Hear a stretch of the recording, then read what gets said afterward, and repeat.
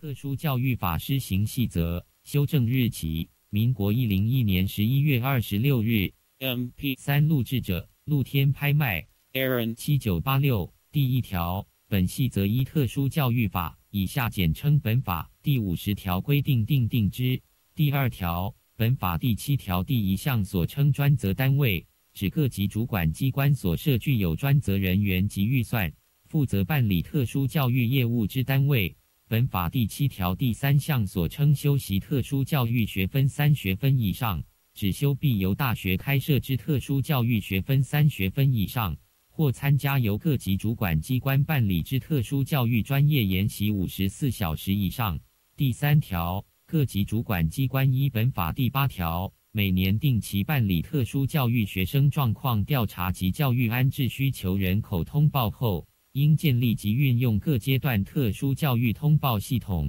并与卫生、社政主管机关所建立之通报系统互相协调，妥善结合。各级主管机关依本法第八条规定出版之统计年报，应包括特殊教育学生与师资人数及比率、安置与经费状况及其他特殊教育通报之项目。第一项特殊教育通报系统之建制及运用的委托或委办学校或机关购办理。第四条，依本法第十一条第一项规定，于高级中等以下各教育阶段学校设立之特殊教育班。包括在幼儿、稚园、国民小学、国民中学及高级中等学校专为身心障碍或资赋优异学生设置之特殊教育班，依本法第二十五条第一项规定，于高级中等以下各教育阶段设立之特殊教育学校，包括幼儿部、国民小学部、国民中学部、高级中学部及高级职业学校部专为身心障碍学生设置之学校。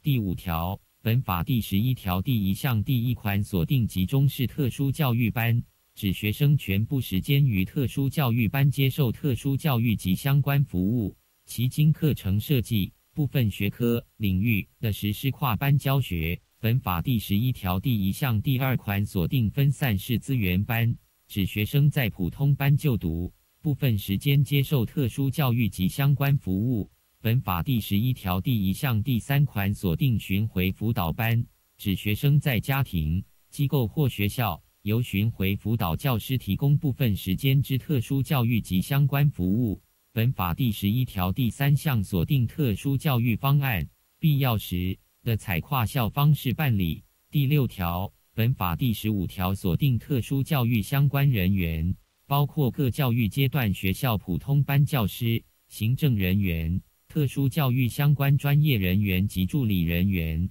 第七条，本法第二十三条第一项所称结合医疗相关资源，指各级主管机关应主动协调医疗机构，针对身心障碍学生提供有关附件、训练、治疗、评量及教学辅导咨询。为推展本法第二十三条第二项身心障碍儿童早期疗愈，直辖市、县市。政府应普设学前特殊教育设施，提供适当之相关服务。第八条，本法第二十六条所定特殊教育学校校长应具备特殊教育之专业之能，只应修习第二条第二项所定特殊教育学分三学分以上。第九条，本法第二十八条所称个别化教育计划，只运用团队合作方式。针对身心障碍学生个别特性所定定之特殊教育及相关服务计划，其内容包括下列事项：一、学生能力现况、